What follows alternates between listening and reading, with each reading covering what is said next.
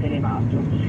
Ma diciamo, immagino che negli anni anche eh, questo prezzo andrà, andrà, andrà a calare, comunque ci saranno insomma, più produttori, anche la parte eh, diciamo, di ingegnerizzazione della produzione eh, sicuramente migliorerà, quindi eh, è, un, è, un, elemento, un, elemento, molto importante.